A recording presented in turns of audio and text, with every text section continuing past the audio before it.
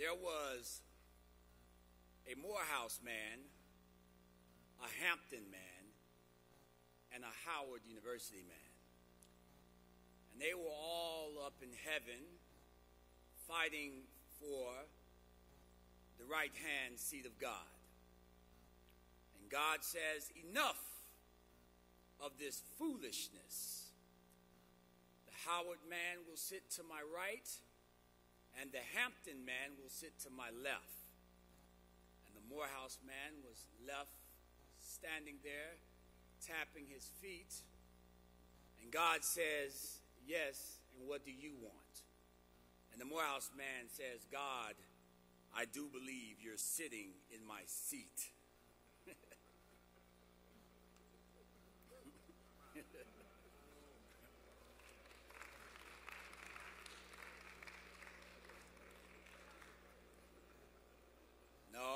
Morehouse men are not that arrogant. Much more, actually. Good morning, my dearest brothers. I said, Good morning, my dearest brothers. My name is Dr. Alexander Daniel Hamilton VI, and I bring greetings to you on behalf of the Reverend Dr. Lawrence Edward Carter Sr the longest serving dean of the largest religious edifice in the world, solely dedicated to the working, teachings, and even musings of that great African American prophet and freedom trumpeter, the Reverend Dr. Martin Luther King Jr.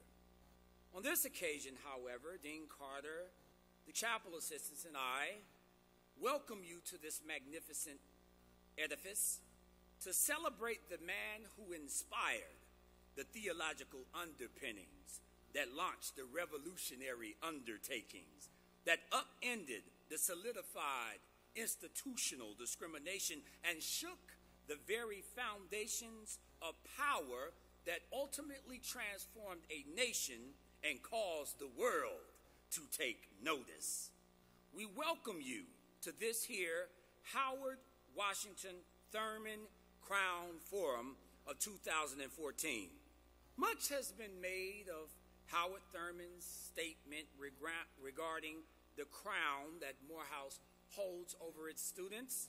At first blush, it's easy to assume that Dr. Thurman is suggesting that the destiny of every Morehouse man is to be a king, to rule over, and the, and the crown fit for the king is his rightful inheritance and signal to take his place amongst all the great emperors that come before him. But au contraire, mon frere, such a manifest destiny type of interpretation of Thurman's remarks goes against the very essence of Thurman's teachings and ultimately the historical aim for Morehouse College. We are not here to flaunt our academic accomplishment in a world full of pain and suffering. We are not here to engage in philosophical and theological and ontological and epistemological reductionism. Oh no.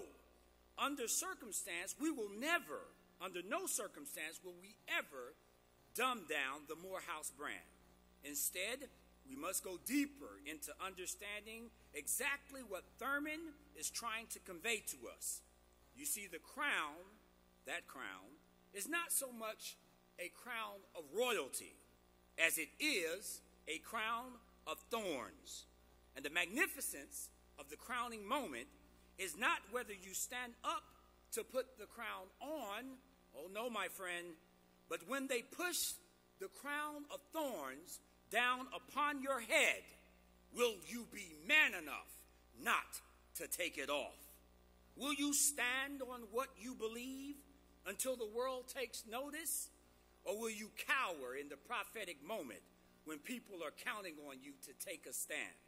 Will you be a man who lives his life on principle, courage, and conviction? Or will you simply ignore the ills of a traumatic world that acts contrary to divine creation and reduces human beings to haves, have nots, and have mores? In this poisonous atmosphere of unethical and immoral behavior, when human beings are refusing to live up to their better selves, who will you be in that moment? Will you be willing to put your reputation on the line to bring honor, character, and all your integrity to bear? All to bring light to the darkness of a sick, conflict ridden, trial and tribulated world? Who will you be in that moment?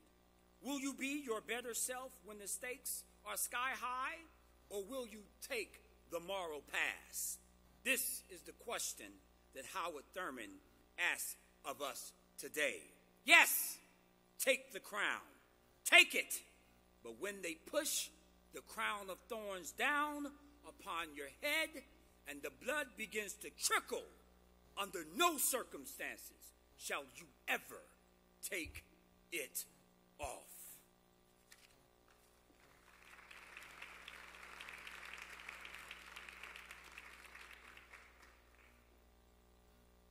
Let us please stand for a moment of prayer and join hands one with another.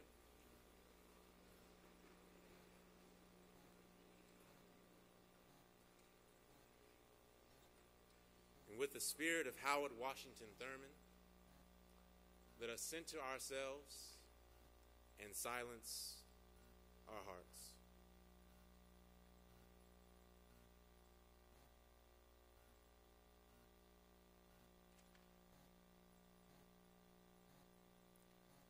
God, you are our peace, our help in ages past, and our strength that propels us into the future.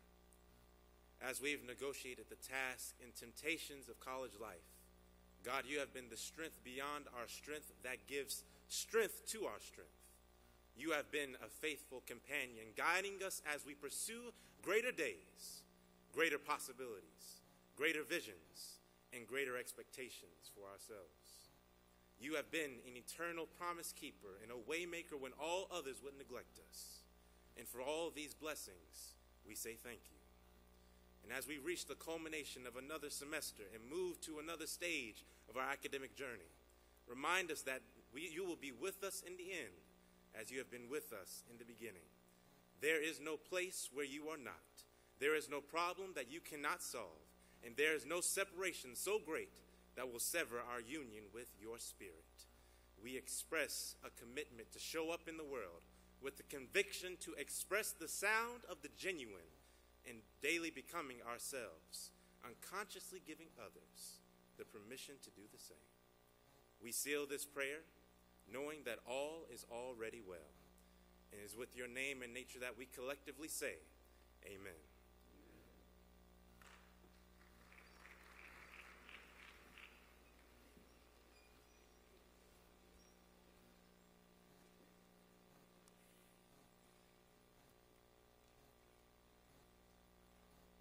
Good morning.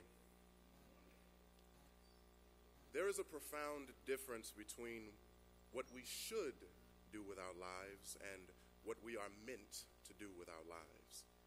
There's a profound difference between what we should be in the world and what we are meant to be in the world. The difference is this the idea of what we should do and be comes from outside of ourselves, from the society in which we live, from the fantasies that our parents and loved ones have had about our lives, from our misguided ideas about what will make us acceptable to other people. On the other hand, the idea of what we are meant to do and be comes from a source deep within us.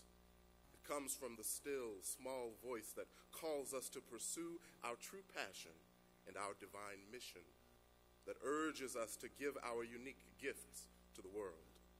This voice within is what Howard Thurman called the sound of the genuine. In fact, it was Howard Thurman, Morehouse College class of 1923, who said, Don't ask yourself what the world needs. Ask yourself what makes you come alive, and then go do that. Because what the world needs is people who have come alive. Thurman invites us to look within, to reverse the searchlight of our awareness away from the distractions of the world, to find the luminous brilliance of our own uniqueness, and to shine our light in a world full of people who are fast asleep. The Renaissance artist and sculptor, sculptor Michelangelo, when he was asked how he created his stunning works of art, gave a strange answer. According to Michelangelo, the statues already existed within the marble. God was the true creator of the David and the thinker. His job as the artist was to chip away at the excess marble and to reveal what God had already created. The fact is that it is the same for each of us. Our job in this world is to chip away at the excess marble the excess fears and doubts, the excess negative opinions and limiting attitudes, and yes, the excess laziness and excuses, and to reveal the beautiful work of art that the Creator has already formed within us. And I must add that as sons of Morehouse College, we have a responsibility to do even more than that. To borrow a metaphor from C.S. Lewis, let us imagine that the entire world is a great sculptor's shop. The, the whole world is Michelangelo's studio, full of statues that appear so real that they are almost human. They have the eyes of a human being, they stand like human beings, they are the size and shape of human beings. Still, there is a crucial difference between a statue and a human being. Statues, unlike people, do not have life. They cannot see, hear, taste, touch, or smell. They cannot feel, or hope, or love, or believe. But let us imagine, as C.S. Lewis puts it, that there is a rumor going around the shop that some of us statues are going to come to life. Coming to life. This is the Herculean task of the sons of Morehouse. We are charged with the duty to go beyond merely reflecting the divine image within us we must bring that image to life. We must not be statues. We must feel and hope and love and believe. We must do more good in the world than simply seeking for our own success and security. Because, brothers, there is a profound difference between looking like a human being and actually being one. There's a profound difference between looking like a success and actually being one. There is a profound difference between what we're told we should be and what we're meant. Follow your bliss, says Joseph Campbell, and the universe will open doors where there were only walls. But the fact is that statues cannot walk through doors. Only human beings can do that. Yes, there is a rumor going around that some of us statues are coming alive. Come alive, brothers, because what the world needs is people who have come alive. Thank you.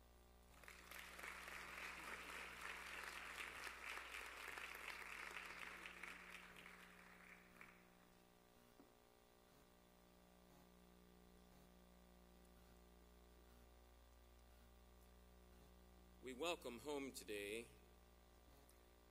one of the sainted sons of the Morehouse class of 2008. The Reverend Mr. Craig Thomas Robinson Jr., proud pastor of the Bethel African Methodist Episcopal Church that serves the village of Bay Shore and Long Island, Reverend Robinson former vice president of the Martin Luther King Jr. Chapel Assistants, is committed to ministry that embraces both the head, the heart, and our hands. He holds a Bachelor's of Arts degree in history from Morehouse, a Master's of Divinity, and Master's of Sacred Theology degrees from Yale University Divinity School.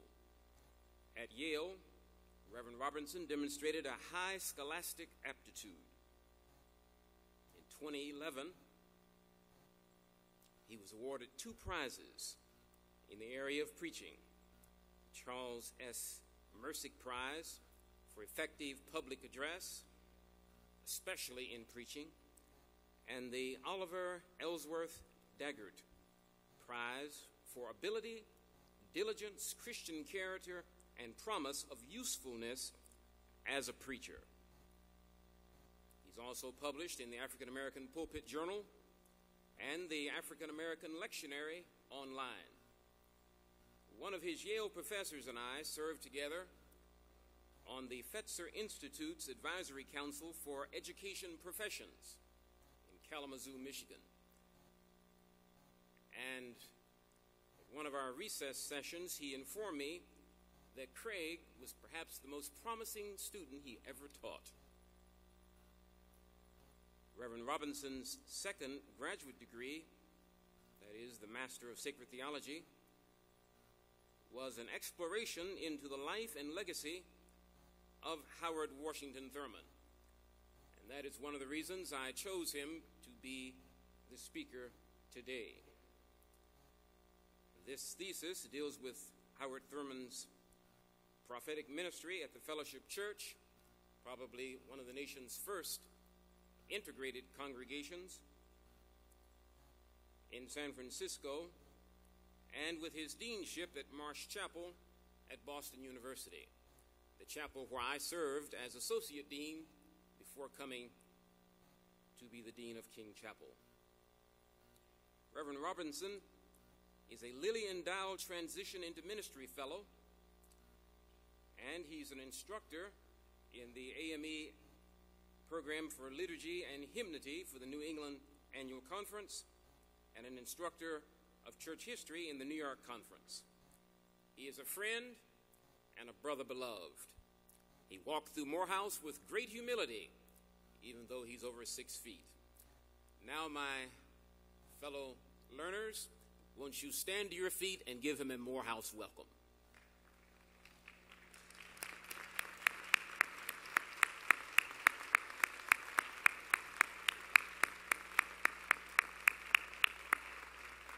Seated.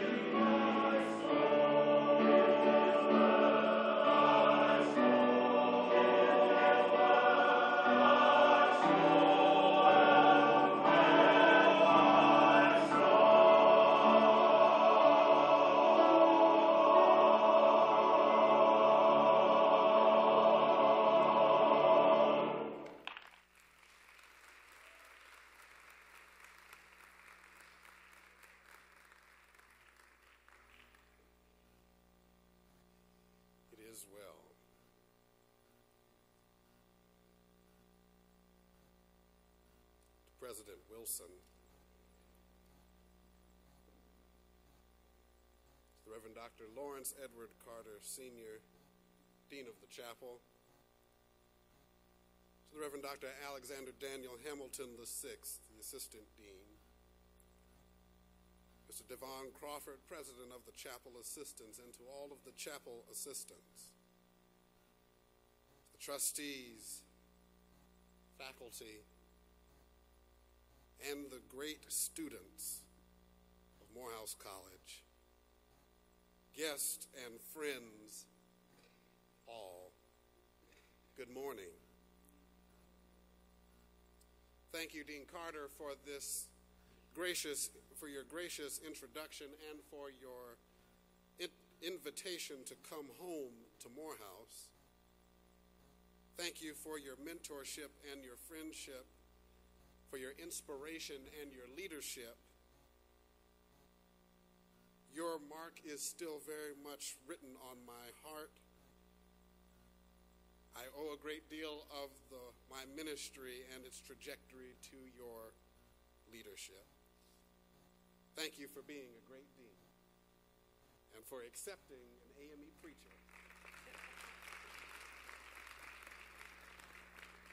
amongst this august company of Baptists. Amen.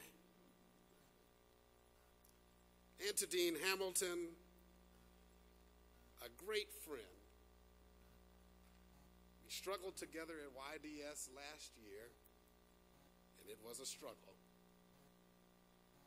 But he is a prophet of the, for the nation, an agitator for the right. He is my friend, and I'm glad about it. Thank you, Dean Hamilton, for who you are to me. And to all of those who serve in the chapel, Reverend Walker and Candace Wilcox, thank you for doing what needed to be done to make this day possible and for bringing me here. Thank you. To Dr. Brian Marks for his tireless service in making sure that Crown Forum is as stellar an event as it should be. I want you to consider again some more words of Howard Thurman, this time taken from one of his meditations from an apostle of sensitiveness, that's his word, entitled The Contradictions of Life Are Not Final. He says, and I quote, At long last, man must be deeply convinced that the contradictions of life which he encounters are not final, that the radical tension between good and evil as he sees it and feels it does not have the last word on the meaning of life and the nature of existence. That there is a spirit in man and in the world, working always against the thing that destroys and cuts down. Thus he will live wisely and courageously his little life, and those who see the sunlight in his face will drop their tools and follow him. There is no ultimate negation for the man for whom it is categorical that the ultimate destiny of man on this planet is a good destiny.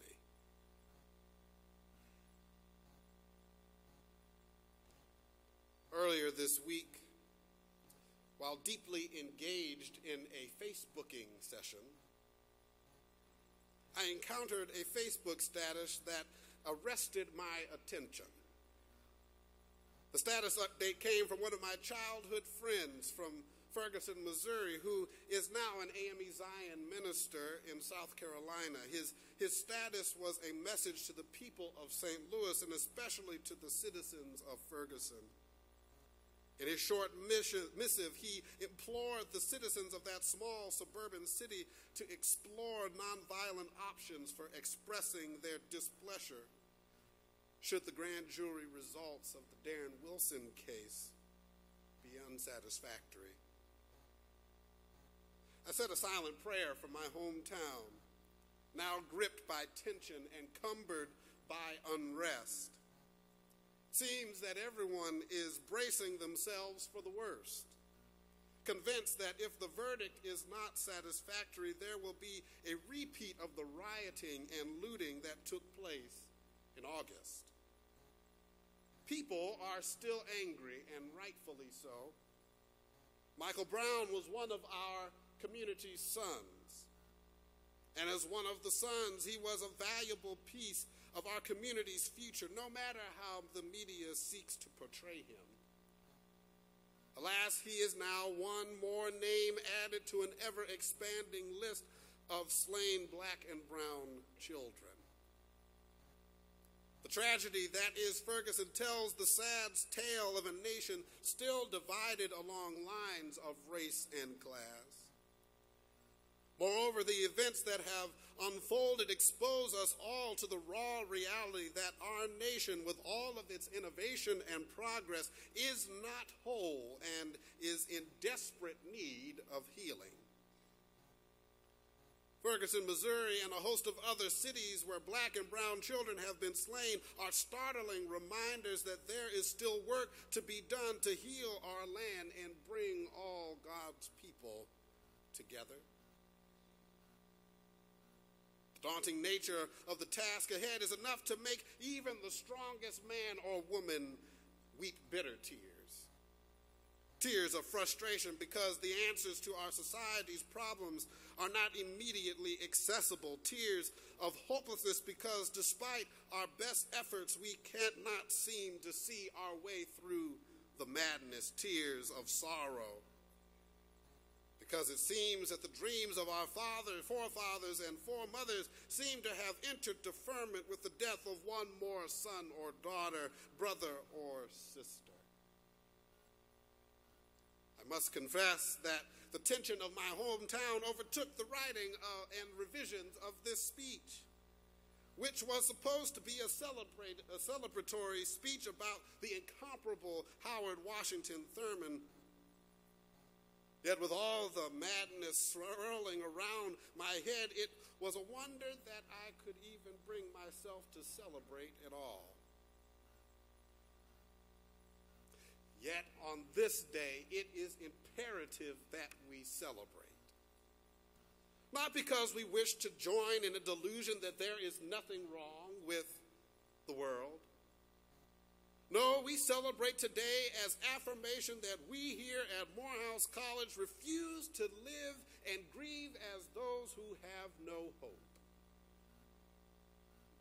If we are going to celebrate Howard Washington Thurman properly, if we are going to remember him for who he was and for what his life means to the soul of our nation and this school, we must remember one essential element that, uh, that allowed Howard Thurman's personality and spirituality to flourish hope.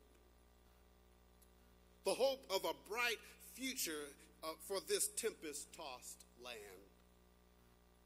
He knew, as our reading has indicated, that in the end, evil, hatred, and division would not have the last word on the human story.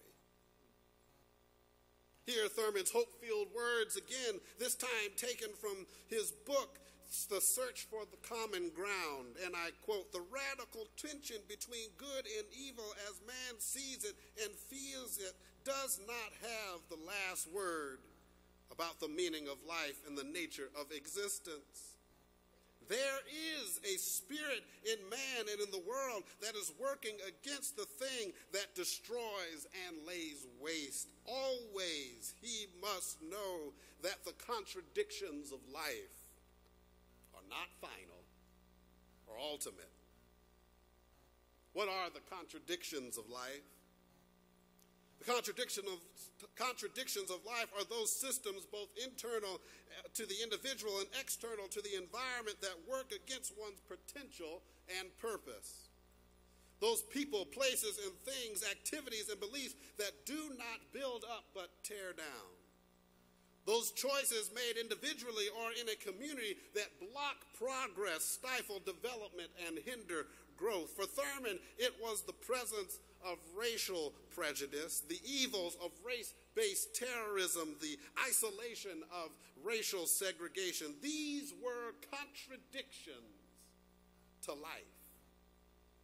These experiences were considered contradictions because they were in opposition to Thurman's hard held belief that Brother Dane Jones just uh, um, uh, enlightened us to that life is alive.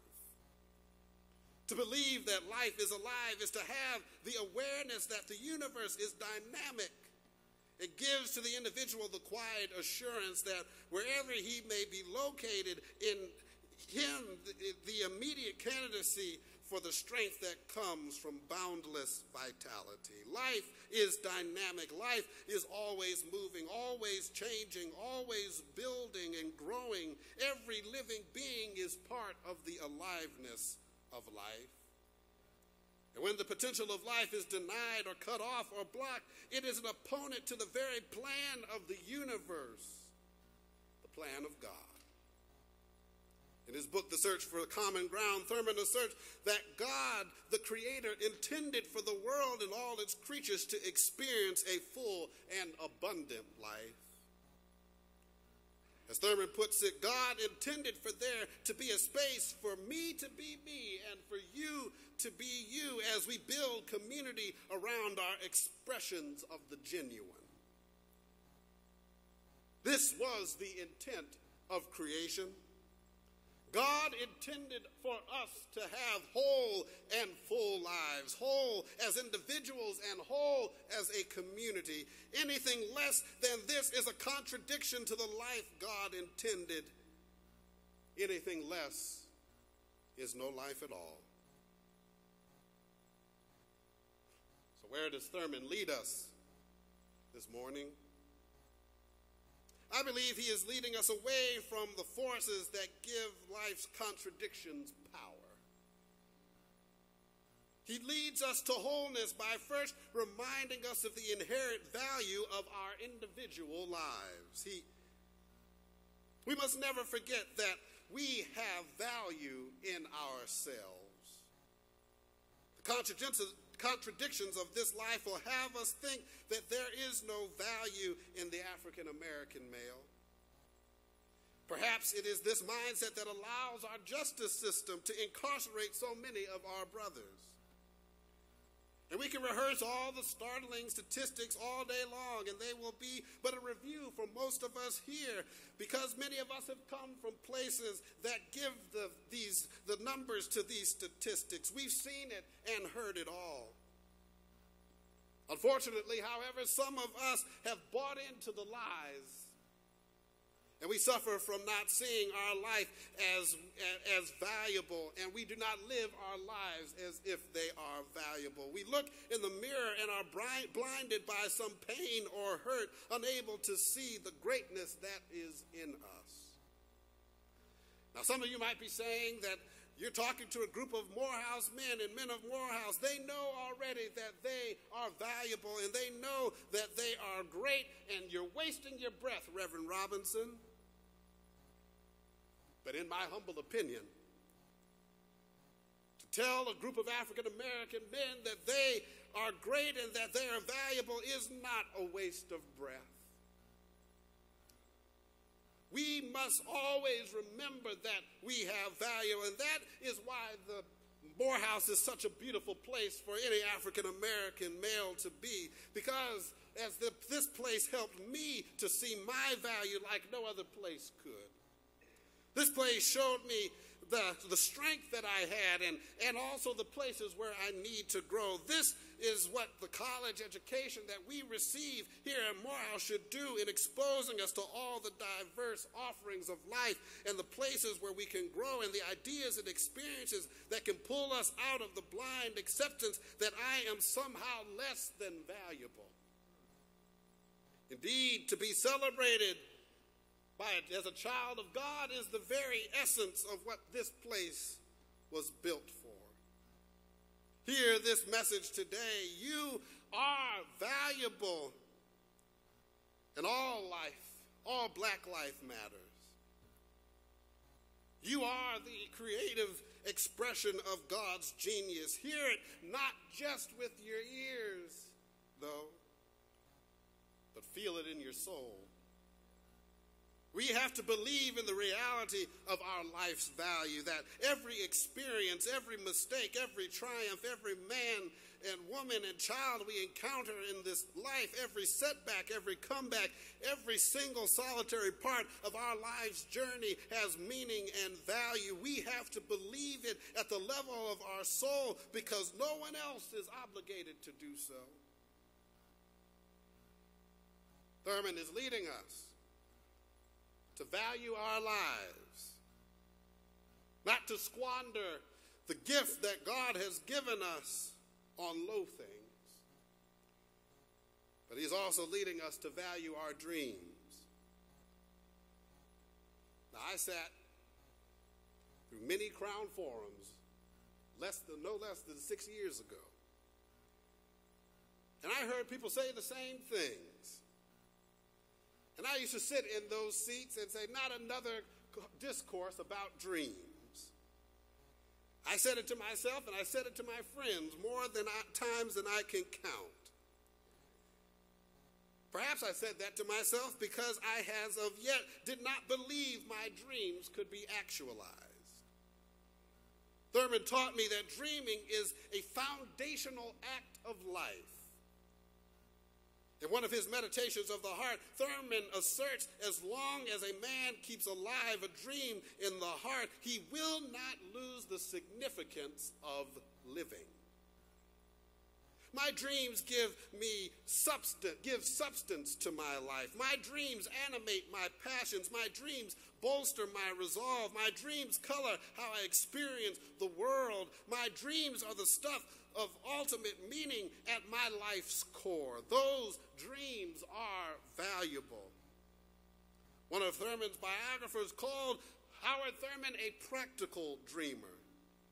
The th- dreams Thurman had and the one you, ones you and I have are not for the arena of fantasy, but they are meant to be explored and eventually materialized. When was the last time you took your dreams seriously? Or have you allowed the hard things of life to convince you that dreaming is futile? It is the act of dreaming that gives way to visions of the future where we are able to see beyond the contradictions of life so that our lives never lose their meaning and significance. Thus far, Thurman's words have been used to usher us beyond the power of the contradictions of life. The question remains what is on the other side of those contradictions? What awaits us at the convergence of our lives and the substance of our dream? What is beyond the contradictions? And I might sound like a preacher, I might sound like I'm about to go into some religious speak, but I do believe this is what is beyond the contradictions. I believe beyond the contradictions of life, there is a call. A prophetic call, Dr. Hamilton is a call to see something that has never been seen before, to see a new and better world for all humanity, to see clearer and farther than this world is currently able to see. The man of Morehouse and the Morehouse man is called to see through the grit and grime of life to a brand new day.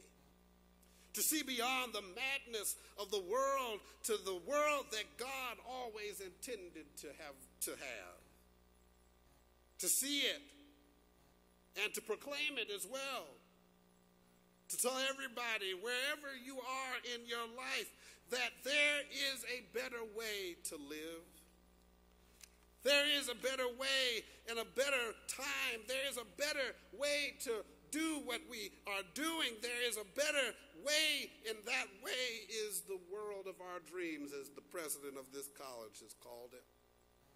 A peaceful world, an equitable world, an emancipated world, a sustainable world. Maybe some might call it an Eden or a New Jerusalem, a place of reconciliation, restoration, and rest. Yes, beyond the contradictions of life, past the life choking circumstances of the world's insanity, there is the vision of the world of our dreams. Howard Thurman's dream Martin Luther King's dream, Coretta Scott King's dream, Gandhi's dream, Mary McLeod Bethune's dream, and dare I say it, God's dream. Each one of us, by virtue of sitting here today, has been tapped to be a prophet to the world.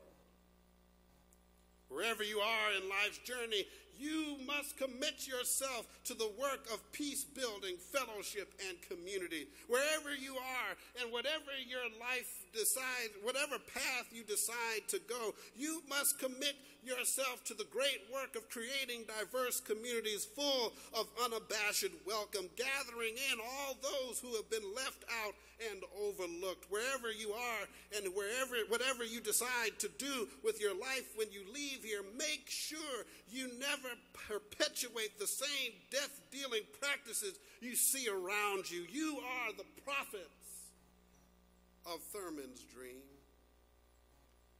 prophets who have seen the promised land, prophets who proclaim that there is a better way. But also, like the Old Testament prophet Nehemiah, you are also architects, anointed to give your hands and hearts to make this vision a reality. And as you build, never forget that the contradictions of this life are not final or ultimate. Evil will not have the last word. Ferguson, Missouri, and Sanford, Florida, and Detroit, Michigan, and Chicago, Illinois are not the final chapters in this life, in our life's book. One ancient sage declared very emphatically that death has been swallowed up in victory. Therefore, not, let us not grow weary in well doing, and let us not grieve like those who have no hope. For our heritage as men of Morehouse and Morehouse men is not built on such negativity. We do not stand on the foundation of despair, but of great hope. Hope in the midst of civil war and uh, reconstruction, hope in the midst of the Ku Klux Klan terrorism, hope in the midst of economic uncertainty, hope in the midst of low student enrollment, hope in the midst of the changing tides of the American landscape, hope in the midst of a few, hope in the midst of the contradictions of life. A future with hope is our sure foundation. That on the other side of our struggles and on the other side and beyond the contradiction and the crucifixions and the thorny crowns of life, there is life beyond those contradictions. And there is a world that we can only dream of, but that, that we are also able to build. And should we hold fast to that vision, bravely and creatively building while it is yet day. One day and one day soon, we will have built the world of our dreams, and all flesh shall see it together.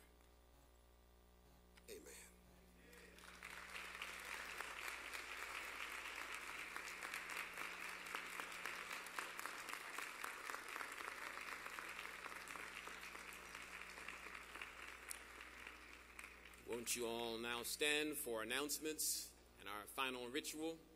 Please rise. We have prepared today two meals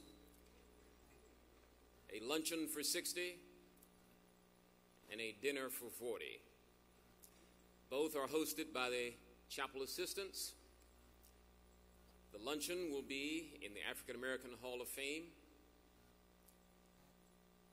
We have about 20 chapel assistants here today, so that leaves, you do the math, first come, first serve. We have on the platform today, in case you missed it, two people from Ferguson, Missouri, natives of Ferguson. If you'd like to dialogue about Thurman with our preacher on the themes, we welcome you to the luncheon. I now invite the president of the chapel assistants and Mr. Jones to take the wreath for Thurman's tomb down to the floor, and chapel assistants to proceed behind them two by two, which is our annual ritual. Most of you are aware that the Thurmans, Howard and Sue Bailey, are their remains are interred in the obelisk. That he was the first African American to meet face to face with Mahatma Gandhi and interview him for a half a day on the relevance of nonviolence for ending American segregation. The speaker this evening is Dr. Marvin A. McMickle, president of Colgate Rochester Crozer Divinity School in Rochester, New York. This is Martin King's Divinity School. When Martin King attended there, it was in a suburb of Philadelphia in Chester. He's going to speak on the pulpit and politics. Now, won't you lock arms for our hymn?